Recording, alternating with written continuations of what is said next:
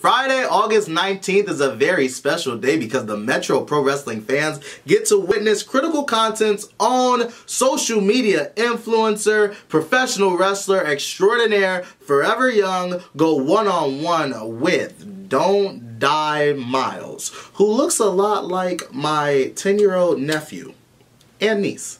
They're cute, so don't take that the wrong way. Miles, I'm actually very much looking forward to this match. I like you. Uh, you have a cool name. It's not as cool as mine. Uh, you have cool hair. It's not as cool as mine. You're a part of a great faction. Uh, shooters don't die. That's factually incorrect and it's a horrible name. But Great Faction nonetheless is still not as good as mine. You also have this weird obsession with drinking water, which you probably should get help with because water is a poor man's drink.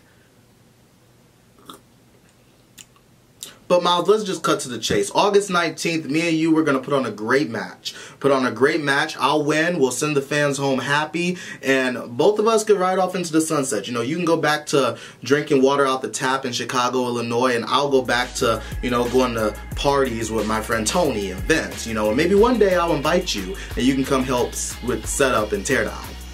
Uh, but, uh, but I digress. Uh, I will see you on the 19th. And in case you forgot.